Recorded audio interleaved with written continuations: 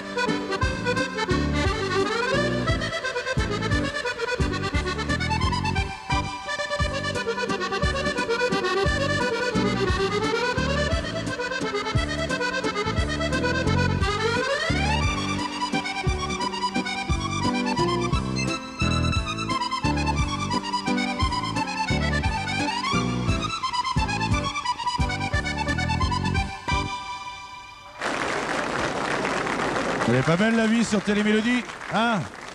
Isabelle Durand, la pipelette de l'accordéon. Extraordinaire. Vous retrouvez sur IDFM tous les jeudis, 10h-11h Star Accordéon.